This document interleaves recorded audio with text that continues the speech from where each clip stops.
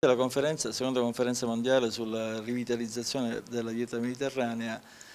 vuole essere un momento in cui eh, si mettono insieme aspetti che forse finora erano stati poco considerati, che sono quelli sicuramente della sostenibilità non soltanto ambientale ma anche dei consumi, della sicurezza alimentare, della salute, questo sicuramente c'era già, e della ehm, eh, sostenibilità.